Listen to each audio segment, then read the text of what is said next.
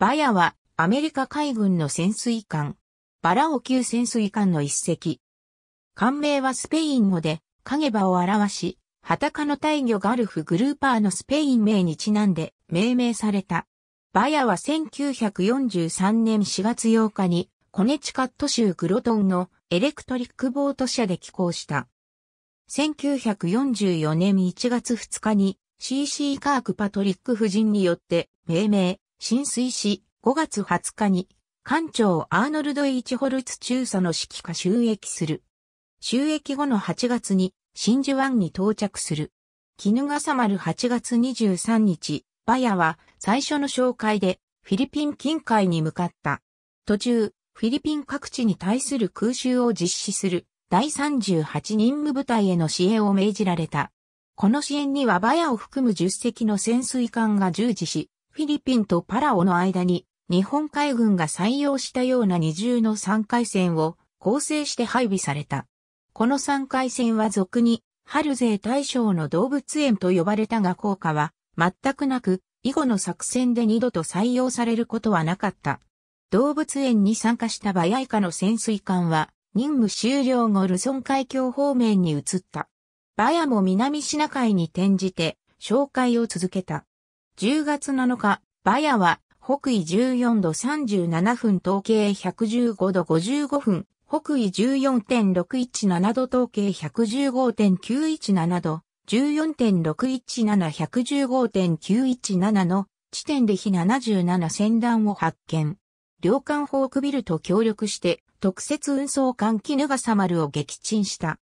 10月22日、バヤは57日間の行動を終えてフリーマントルに帰島した。11月14日、バヤは2回目の紹介で南シナ海に向かった。12月27日に輸送船団に対して攻撃を行い、二つの命中音を聴取した。この紹介では戦果を上げることはなかったと判断された。1945年1月12日、バヤは55日間の行動を終えて、フリーマントルに帰島。艦長がベンジャミン・シー・ジャービスに変わった。2月10日、バヤは3回目の紹介で南シナ海に向かった。3月4日、バヤは北緯12度52分統計109度30分、北緯12.867度統計109.500度、12.867-109.500のインドシナ半島、バレラ岬沖で輸送船団を発見した。これは南号作戦参加の非98船団でタンカー2隻と解剖艦4隻で構成されていた。バヤはタンカー2隻を一挙に撃沈すべく、船団右後方から魚雷を発射。2本は、両英丸に向かっていったが回避され、陸岸に命中して爆発。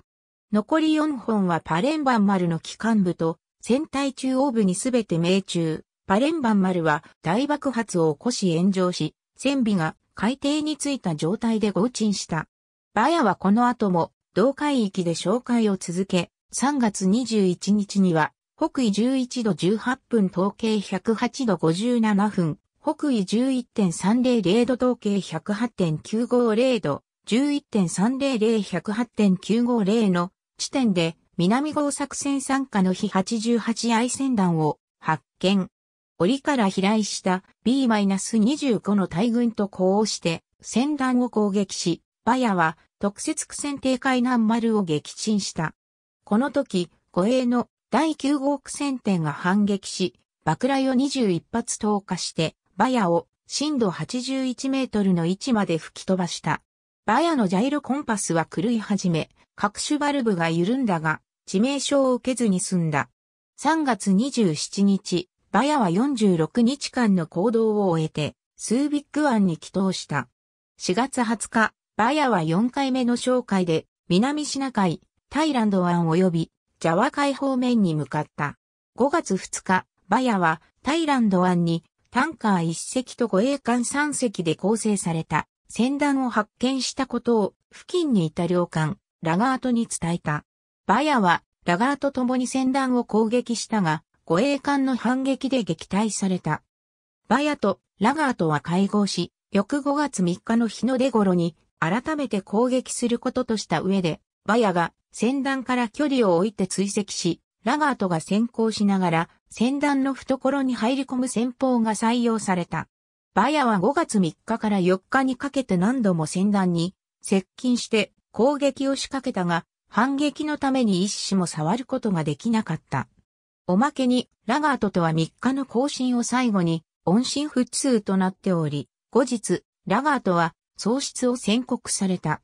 バヤは南下して獲物を求め、5月13日に、南緯06度31分統計111度19分、南緯6.517度統計111.317度、マイナス6.517-111.317の地点で小船団を攻撃し、タンカー養成丸を撃沈した。5月18日、バヤは28日間の行動を終えて、フリーマントルに帰投した。6月14日、バヤは5回目の紹介で、ジャワ海及び南シナ海方面に向かった。7月16日、バヤは南緯05度48分統計115度53分、南緯5.800度統計115.883度、マイナス5.800-115.883の地点で、この時点でこの方面に残された数少ない日本艦艇である水雷艇岸を撃沈した。7月31日、バヤは41日間の行動を終えて、スービック湾に帰投した。海軍電子工学研究所での任務中のバヤバヤは1945年9月にスービック湾を出港、9月24日にサンフランシスコに到着した。その後間もなく不活性化のオーバーホールに入った後、1946年5月14日にメアアイランド海軍造船所で予備役となった。バヤは1948年2月10日に最終役し、電子機材実験潜水艦に転換され、カリフォルニア州サンディエゴのアメリカ海軍電子工学研究所の実験をサンディエゴ沖で行った。また、1948年11月及び12月には、カナダ西部で科学的データを収集するため、カナダ軍との合同調査を行っている。1949年7月から9月にかけて、北極への巡航を行い、ベーリング海、熟地海で貴重な科学的データを収集した。1949年8月12日にギース -318 に艦種変更され、1955年7月から10月にかけては真珠湾でさらなる実験的研究場の展開を行った。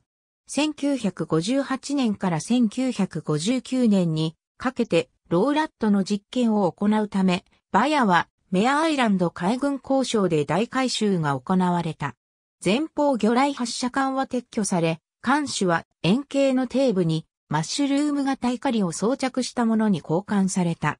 全部魚雷室とバッテリー室の間に23フィートのセクションが挿入され、12人の科学者が乗り込む部屋が作成された。これらの改修により全長は330フィートに延長され、潜水時の排水量は2600トンに増加した。また、最高速は10.5ノットまで低下した。バヤは1972年10月30日に退役、同日除籍された。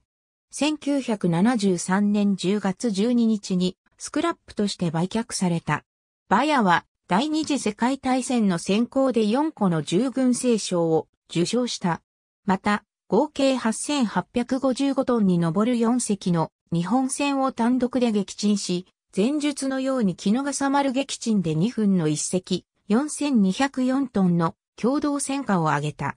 ありがとうございます。